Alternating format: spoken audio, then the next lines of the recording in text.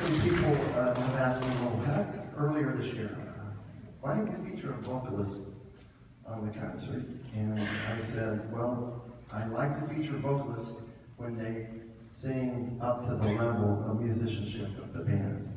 And tonight we have two very special people that will be singing songs with the band tonight. The first young lady, she was an all-state vocalist last year. She uh, uh, is a, you've known her from East musicals and East drama productions, so I'm going to bring her out. Her name's Abby Cramer, and she'll be singing Mood Indigo.